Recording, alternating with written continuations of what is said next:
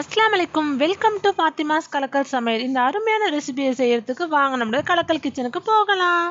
இன்னைக்கு வந்து ஒரு ஆறு துண்டு பிரெட் எடுத்திருக்கேன். சைட்ஸ் எல்லாம் கட் பண்ணிட்டு சின்ன சின்ன க்யூபாக கட் பண்ணி எடுத்துக்கோங்க. அதை வந்து ஒரு பேனில் கொஞ்சமாக எண்ணெய் விட்டுருக்கேன். அதில் எல்லாத்தையும் நம்ம பொறிச்சு எடுத்துடலாம். இது வந்து ஒரு ரெண்டு நிமிஷத்துலேயே நல்லா செவந்துருங்க ப்ரெட்டு ரெண்டு பக்கமும் திருப்பி போட்டு நல்லா செவந்ததும் நம்ம பிளேட்டுக்கு எடுத்துடலாம். நல்லா செவந்துடுச்சு இப்போ வந்து நம்ம பிளேட்டுக்கு எடுத்துடலாம்.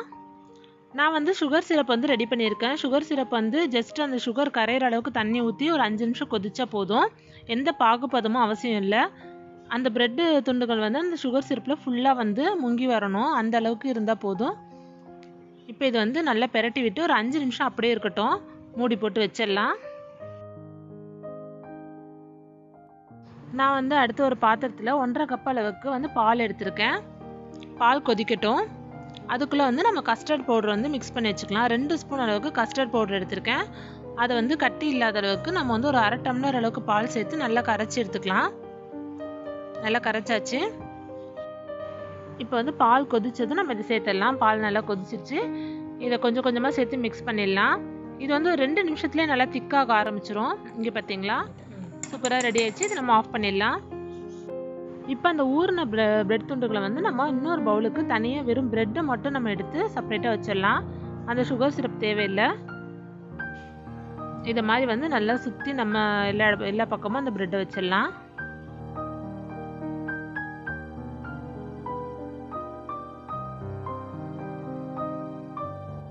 இப்போ நம்ம ரெடி பண்ணி வச்சுருக்க அந்த கஸ்டர்ட் மில்கை வந்து இந்த பிரெட் துண்டுகள் மேலே நம்ம அப்படியே ஊற்றிடலாம் சூடாகவே ஊற்றுங்க ஒன்றும் பிரச்சனை இல்லை.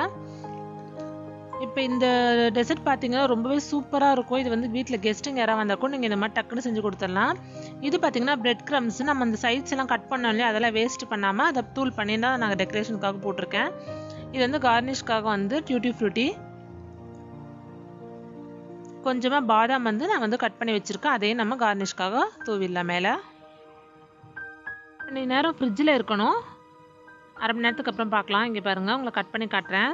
வாவ் டேஸ்ட் பண்ணலாம். வாவ். அவ்வளோ சூப்பராக இருக்குதுங்க. நீங்கள் கண்டிப்பாக உங்கள் வீட்டில் இது ட்ரை பண்ணி பாருங்கள் ரொம்பவே வித்தியாசமான டேஸ்ட்டாக இருக்கும். குழந்தைங்கலேருந்து பெரியவங்க வரைக்கும் விருப்பப்பட்டு சாப்பிடுவாங்க. இந்த வீடியோ உங்களுக்கு பிடிச்சதுன்னா லைக் பண்ணுங்கள் அது கலக்கலான வீடியோஸ் பார்க்கணும். என்னோட சேனலை சப்ஸ்கிரைப் பண்ணிக்கோங்க. தேங்க்ஸ் ஃபார் வாட்சிங்